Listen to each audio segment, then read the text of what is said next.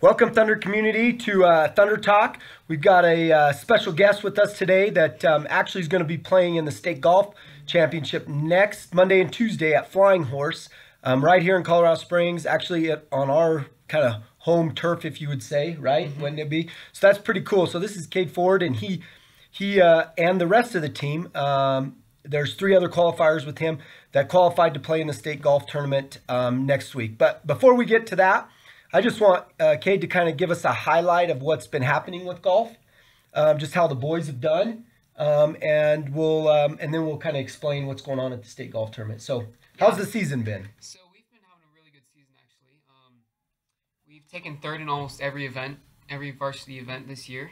Um, we're ranked third in PPAC right now, and we have we've had a uh, we had a really good chance to take PPAC and regionals this year. So.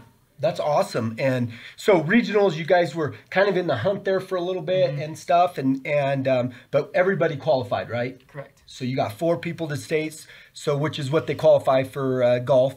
Um, and so, how many kids are going to be playing at the state golf tournament next week? Do you know? Um, I'm not exactly sure. Um, at least hundred kids. Okay. Overall. So next Monday and Tuesday at Flying Horse. Um, you know, the golf tournament starts. I think they tee off like at about nine, eight something, between eight and nine. Um, but what do you think about that playing here on your home turf? Um, it's really exciting. Um, I've played that course thousands of times. Sure. And um, it's, it's a huge advantage to play on your home course because you know where to miss the ball. You know um, the good and bad of the course. Yeah, yeah, and it, not not only an advantage maybe for you, but for Discovery Canyon in, as a whole, right? Oh yeah. Your um, other guys and stuff that are playing with you. So you've got Lucas, Josh, and who's your um, um, Scott. Scott Levesque.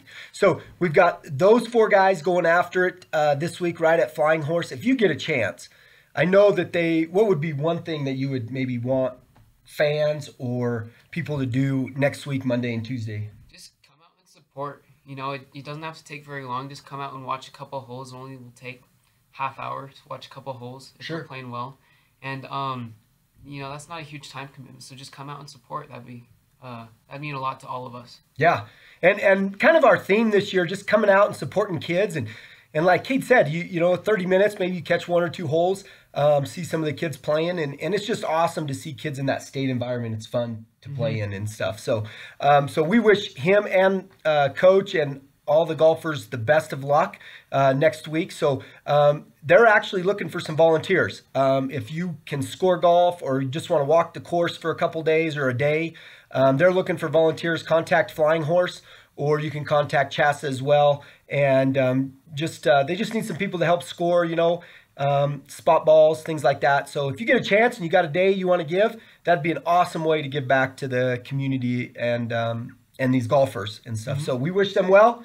And thanks for joining us. There's a ton of activities. Um, we're on the road a lot this week, but we got uh, two home volleyball matches this week, and we got a home softball. If you get a chance, get out and get out and support somebody. Um, but hopefully, we'll see you next week over at Flying Horse. I'll be there um, watching these guys, and so it should be an exciting time. Thanks.